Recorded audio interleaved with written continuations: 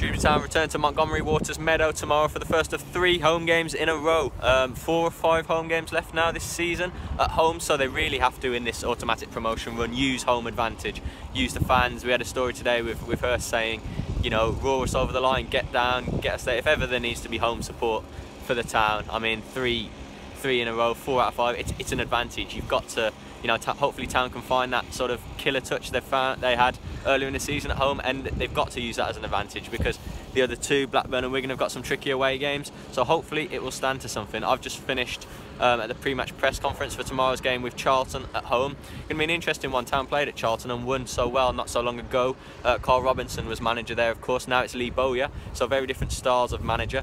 Um, in terms of Town team news, we've got Omar Beckles suspended from last Thursday's draw at Bradford. His two yellow cards. Interesting to see how Paul Hurst goes there. You'd think Max Lowe um, who Paul has said has trained well, will come in and, and, get a real chance. So it'll be interesting to see how Lowe uh, fares. But Charlton, such a dangerous side actually with the, the attacking talent they've got, numerous talented wingers, sort of pacey strikers who can hurt Town. So no, by no means a foregone conclusion. Both sides realistically need three points. They're hunting for the playoffs. Town, of course, want the top two. So should be a good game down at the Meadow. Get down there and, and support the side.